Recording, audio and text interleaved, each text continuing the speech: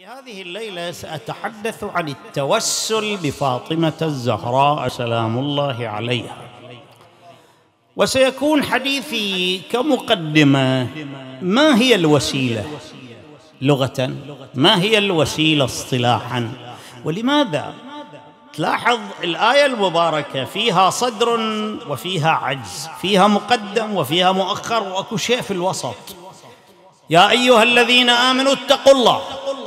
وابتغوا إليه الوسيلة وجاهدوا في سبيله لعلكم تفلحون. يعني حتى النتيجة ذاكرينها. أنه بالتقوى أنه باتخاذ الوسيلة أنه بالجهاد في سبيله يفلح الإنسان أو يفلح المؤمنون. فما هي الوسيلة لغة؟ ما هي الوسيلة اصطلاحا؟ ثانيا. هذا يدلنا على أن هناك توسلات مشروعة وتوسلات غير مشروعة. يعني واحد يجي يتوسل بالصنم يتوسل أفرض بإنسان ما له قيمة مثلا. أما هناك أشياء أو توسلات مشروعة أذكر منها خمسة إن شاء الله والخامس هو موضوعنا إن شاء الله كما سترون. ثم اتطرق إلى هل أن التوسل في زمان النبي كان موجودا صلى الله عليه وآله أو لا؟ شيء مخترع. لا كان في زمان النبي وكان كذلك بعد زمان النبي صلى الله عليه وآله. فاطمة الزهراء كذلك أيها المؤمنون كليلة القدر قد إحنا مأمورون في ليلة القدر بأن نتوسل إلى الله جل وعلا؟ أيهما أعظم ليلة القدر أم فاطمة؟ أنا بضرس قاطع أقول أن فاطمة سلام الله عليها أعلى. ولهذا سنأتي بشبه بينها وبين ليلة القدر خمسة وأبين لك بأن فاطمة الزهراء هي أعلى من كل سمات ليلة القدر. الآن نأتي إلى المقدمة. المقدمة شوف القرآن الكريم. بدأ بالخطاب للذين آمنوا. طبعا. أولئك الذين يتقون الله والذين يتوسلون إلى الله والذين يجاهدون في سبيل الله مؤمنون. لكنه لما جاء إلى الوسيلة خلاها بالوسط. وإليها مقدمة. شنو المقدمة؟ التقوى. يعني أن تكون أن يكون هذا التوسل مشروعا. وليس بتوسل بتوسل غير مشروع كالتوسل بالأصنام. أو بالتوسل برؤساء القوم. ثانيا أنه جعل هناك لها حفاظ آخر. الحفاظ الآخر شنو؟ وجاهدوا في سبيله. يعني أن التقوى والوسيلة بهؤلاء الوسيلة المشروعة هي تعطي إرادة إلى ماذا؟ تعطي إرادة إلى الجهاد في سبيل الله، يعني إذا توسلت برسول الله وبفاطمة الزهراء وبالأئمة وبالصالحين فإنها تعطيك دفعة روحية قوية للجهاد في سبيل جهاد الكلمة، جهاد الكتابة، جهاد القلب، جهاد اليد إلى آخره. من وين يجي؟ من التقوى ويأتي كذلك من التوسل بهؤلاء النتيجة شنو؟ النتيجة الفلاح. في الدنيا النصر أو قل العزة في الدنيا والفلاح في الآخرة. زين ما هي الوسيلة؟ وسيلة في اللغة العربية هي الأداة. الشيء الموصل لماذا؟ للغرض. الشيء الموصل للغرض على قسمين. تارة يكون ماديا يعني الصور انت تاخذ لك تريد تنتقل من الكورة إلى أفرض إلى آه، شهرك كان مثلا. خلينا ذكرنا شهرك كان شوي بعيد يعني. يبغى لك وسيلة؟ لو ما يبغى لك وسيلة. لكن لو لو مدينة عيسى لو بتروح توبلي تقدر تمشي على رجليك. لكن هذا طويل صح؟ يمكن ولا بد من وسيلة. حتى الرجلين وسيلة مادية. زين؟ زين. وكذلك الوسيلة المعنوية. الوسيلة المعنوية الصلاة الصوم الحج هاي الأمور كلها الوسائل الروحية. أما بالنسبة إلى الاصطلاح أن أن المقر أن الوسيلة هي مقربة إلى الله جل وعلا. يعني أنا مع إيماني بالله لكن أقدم بين يدي حاجتي رسول الله أقدم بين يدي حاجتي فاطمة أقدم بين يدي حاجتي القرآن. مثلا ولهذا هناك خمسة أمور أذكرها لكم هي هذه تعتبر ماذا؟ من التوسلات المشروعة.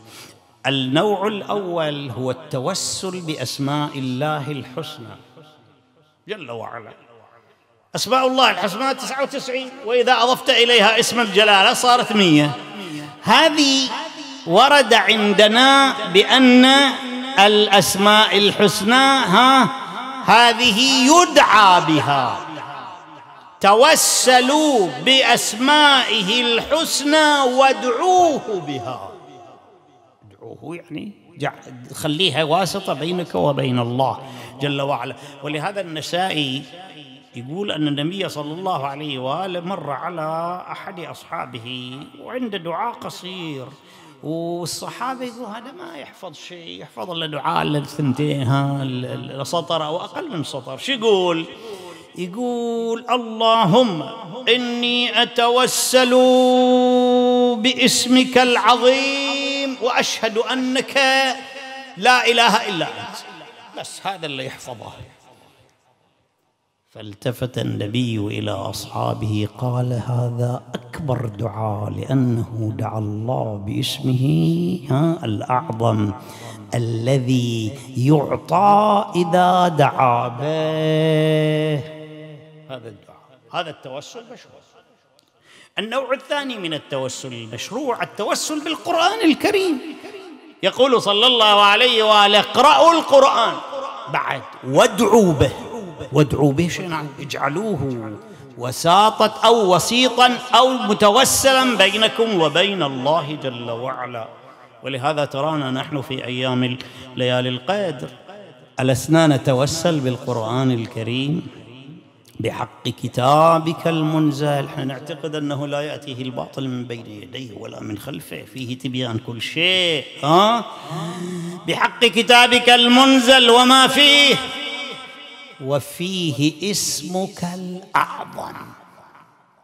شو تقول في الأخير؟ أن تجعلني من عتقائك من النار. هذا توسل ولا توسل؟ توسل مشروع. التوسل الثالث أن تتوسل بالزمان المكرم المعظم كشهر رمضان. الإمام زين العابدين في دعائه في الصحيفة السجادية رقم 44 وإذا به يقول اللهم بحق هذا الشهر شهر رمضان الذي أنزلت فيه القرآن هدى للناس وبينات. كذلك اليوم عندك بعض الأيام يتوسل بها كيوم العيد ها؟ اللهم بحق هذا اليوم الذي جعلته للمسلمين عيدا ولمحمد صلى الله عليه وآله ذخرا وشرفا وكرامة ومزيدا. أن تصلي على محمد وآل محمد وأن تدخلني في كل خير أدخلت فيه محمدا وآل محمد وأن تخرجني من كل سوء أخرجت منه محمدا وآل محمد. هذا القسم الثالث. القسم الرابع العمل الصالح. الأعمال الصالحة تكون وسيلة بينك وبين الله. ولهذا علماؤنا مفسرون وحتى مفسري إخواننا السنة والرواة. الإمام البخاري في الجزء الرابع لما يجي إلى قوله تعالى أم حسبت أن أصحاب الكهف والرقيم كانوا من آياتنا عجبا. أصحاب الكهف وأصحاب الرقيم واحد لو اثنين. لا اثنين. أصحاب الكهف غير ها؟ إنهم فتية آمنوا بربهم وزدناهم هدى. والرقيم غير. من هم أهل الرقيم قال النبي صلى الله عليه وآله ثلاثة شبان خرجوا إلى الصحراء في إلى الوادي في أيام الخريف ولم يخبروا أهلهم. والمفروض واحد يطلع في البحر ويطلع في البر يكون يخبر أهله يمكن يقع عليه. يقول بينما هم يأكلون مستأنسين وإذا بالجو قد تغير رياح عاتية أمطار غزيرة. وش يسوون؟ بينما هم كذلك ها اشتد اشتد المطر اشتد اشتدت الرياح. قالوا وين نلجأ؟ قالوا نلجأ إلى الغار. لجأوا إلى غار بينما هم كذلك وإذا بالما صار طوفان. ونقل الصخور من أعالي الجبال إلى أن جاءت صخرة عظيمة وسدت باب الغار. لا يدخل لهم هو إلا قليل. لا يدخل لهم نور. عاشوا في ظلام. وهي الصخرة يريد لها عشرين خمسة عشر نفر حتى يشيلونها. وهم ثلاثة. فالتفت أحدهم إخواني كل واحد لابد عنده عمل صالح. خلينا نتوسل بأعمالنا. وش عندكم؟ اسمعوا. وإذا واحد يقول هسه إحنا ما نريد نرتبها بس أنا باعتبار الأم وإحنا ليلة الأم مولاتنا فاطمة الزهراء. أخلي الأم في الأخير العظيمة هذه. الأول قال بأنني استأجرت عاملا فأعطيته شفت رجل عامل مخلص. فأعطيته الأجرة وزدته قليلا فاستقلها. وراح. يقول أنا سويت بالإجراء أخذتها وأنميها استخدمتها في التجارة. وبعض الروايات تقول اشترى غنمة والغنمة صارت تكاثر صار بهم. وما رجع إلي إلا بعد خمس سنين. وإذا بقطيع من الغنم وبأموال كثيرة فأعطيتها إياه. فها فإن كان هذا يرضيك إلهي أتوسل بهذا العمل. وإذا بالصخرة قد تزحزحت فدخل النور والهواء. يقول ضمننا الحياة الحين. الثاني قال إنني عشقت فتاة خطبتها من أهلها تمكن حبها من قلبي خطبتها فلم يستجيبوا لي. وأنا أريدها إلى ذات يومين انفردت بها. وتعرف الشيطان ما خلا رجل وامرأة إلا وكان الشيطان ثالثهما. لكن تغلب عقلي وشرعي على شهوتي. فعففت عنها. الله يرحم المقدس الأردبيلي الظاهر أو غيره من أحد علمائنا الكبار. يقولون له أنت لو صرت في هالحالة ها؟ وحالة أنك أنت ما ها ما حد وياك. وتجيك امرأة جميلة كذا وطريق شرعي ماكو. وتدعوك إلى مزاولة القبيح. ما قال ما أسوي قال أستعيذ بالله من ذلك. وما أبرئ نفسي إن النفس لأمارة بالسوء إلا الله يقول فعففت عنها فإن كان هذا يرضيك ففرج عنا يقول فانفرجت أكثر.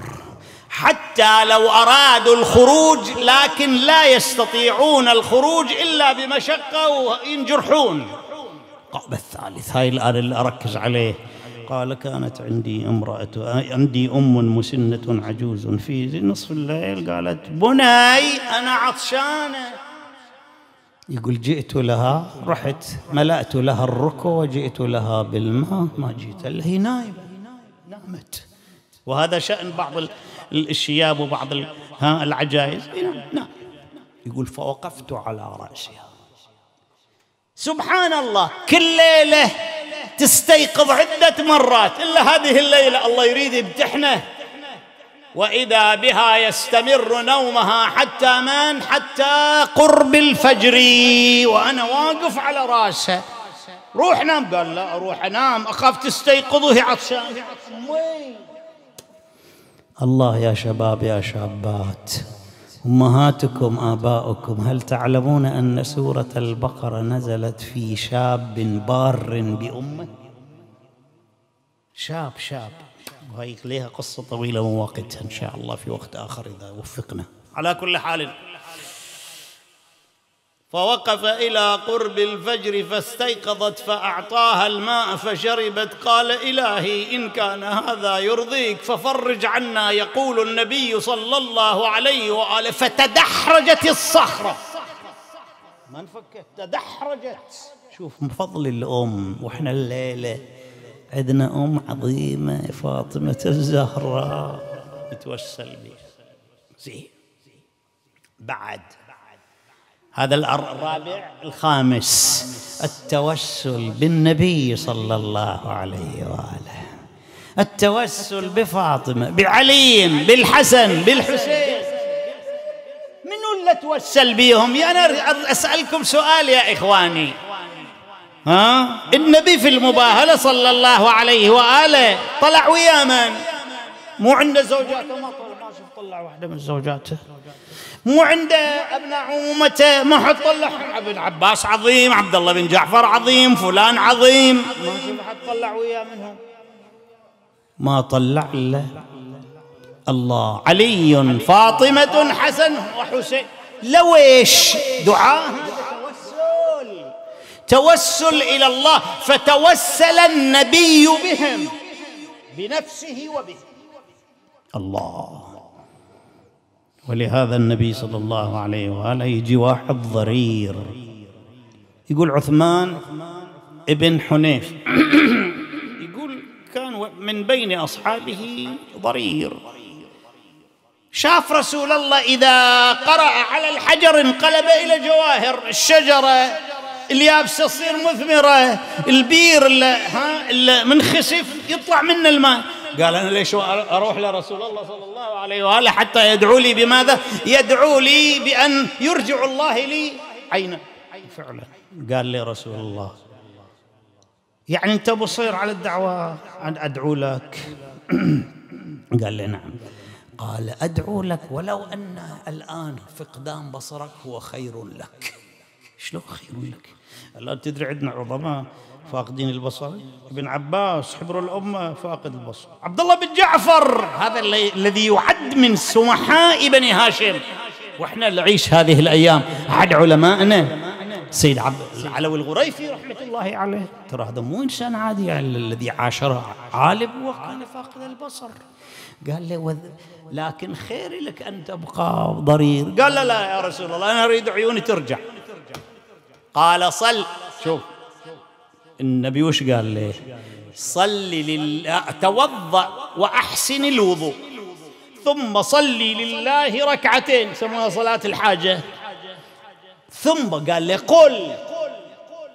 والنبي اللي تعالى قال له قل. الله ها؟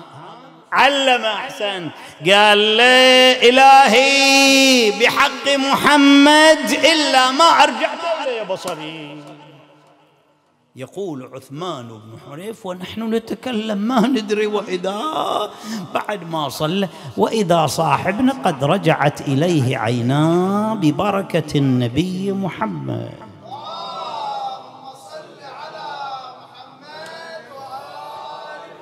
ثم يا إخواني في زمن الرمادة منه اللي توسل توسلوا منه ها؟ توسلوا. مو بواحد يعني علي بن أبي طالب ولا فاطمة الزهراء ولا مع واحد. العباس بن عبد المطلب. عباس رضي الله عنه سلام الله عليه. منو اللي توسل به؟ توسل به عمر. توسل به. وفعلا استجاب الله لهم. ماذا قال عمر؟ هذا يرويه ابن الأثير المعروف. يقول قال هذا هو الوسيلة إليه تعالى. يذكرون على وعمر هذا بعد صحابي. هذا هو الوسيلة إلى الله والمكان منه. على كل حال النبي صلى الله عليه وآله فاطمة بنت أسد التفت إلى أبي أيوب الأنصاري وإلى أسامة بن زيد ورجل ثالث غلام يسمونه. قالوا يلا حفروا حفروا حفروا. زين. لما وصلوا إلى اللحد قال اخرجوا. فقام صلى الله عليه وآله بحفر اللحد بنفسه وأنزلها بنفسه وجلس عندها. إيش قال؟ إلهي اغفر لأمي فاطمة بحقي وبحق الأنبياء قبلي. توسل وهذا ابن حبان والطبراني في معجم الكبير والمعجم الصغير والحاكم النيسابوري. وقد صححوا هذه الرواية. ما لكم نحن إذا توجهنا إلى فاطمة وإذا توسلنا بها؟ لماذا تقولون ما تقولون؟ فاطمة وما أدراك ما فاطمة. يا الله. بعض الأحاديث الشيخ الكليني رحمة الله عليه في الكافي. يقول أن هناك شبه بين ليلة القدر وبين فاطمة الزهراء. سلام الله عليها. ناخذ خمسة.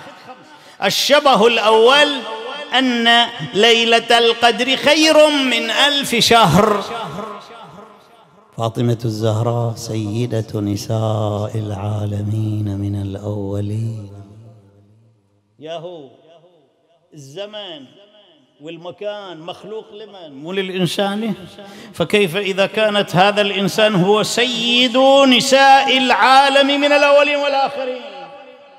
ها؟ أنت أفضل أو المكان؟ أنت أفضل من إنما يشرف المكان المكين المكان بالمكين شرف المدينة وشرف هو رسول الله صلى الله عليه وسلم. وشرف النجف. علي وهكذا. فإذا خير من ألف شهر بينما فاطمة الزهراء سيدة نساء العالمين من الأولين والآخرين. اثنين. إنا أنزلناه في ليلة مباركة الليلة المباركة ليلة القدر. فاطمة الزهراء من جملة أسمائها المباركة. خير كثير. بعد إنا أعطيناك الكوثر. كوثر في تكونها. حتى النطفه من الجنة. كوثر في ولادتها. كوثر في تربيتها. كوثر في أولادها. إلى الآن إحنا نعيش تحت بركة هذه الكوثر. يقول النبي صلى الله عليه وآله المهدي من عترتي ومن أولاد فاطمة. سلام الله هذا اثنين ثلاثة. ليلة القدر تنزل الملائكة من صفاتها صفات أنه ماذا؟ أنه الملائكة تنزل. مولانا فاطمة الزهراء سلام الله عليها.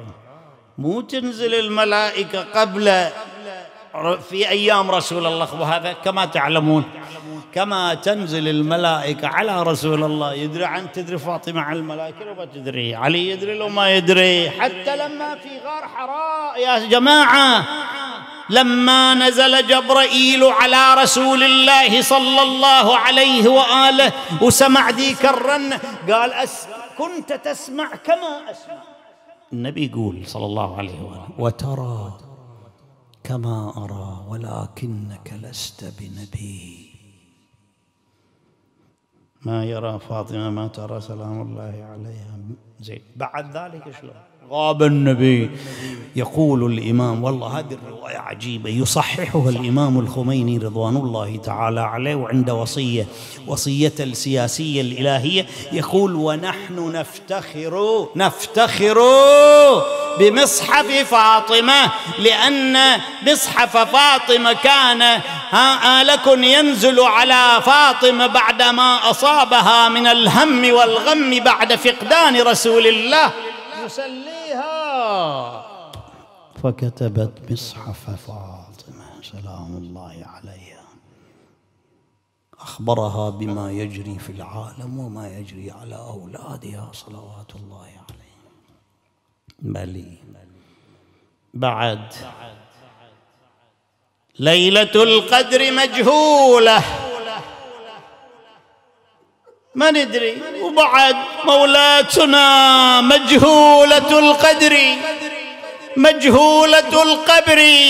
ها؟ عرفوا لها قدر.